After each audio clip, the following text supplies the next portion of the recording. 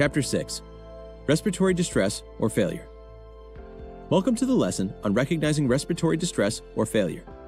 In this video, we'll discuss what respiratory distress or failure is and how to recognize them. Respiratory distress is a condition in which pulmonary activity is insufficient to bring oxygen and to remove carbon dioxide from the blood.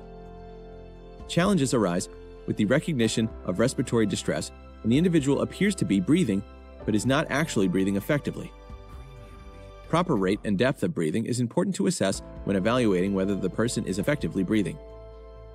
The two main actions involved in breathing are ventilation and oxygenation. Signs and symptoms, of which you can review in your corresponding PALS manual in the table in Figure 11. If the individual is in respiratory distress, their airway will open without support.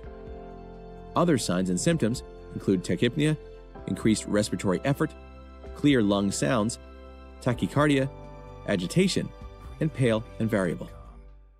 If the individual is in respiratory failure, the airway could be possibly obstructed.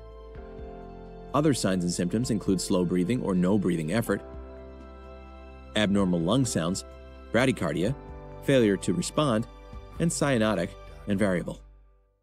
In some instances, breath sounds can provide information about the source of the breathing problem.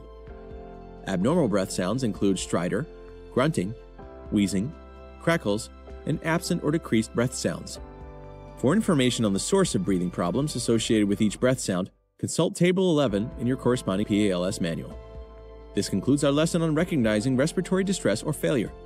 Next, we'll review causes of respiratory distress or failure.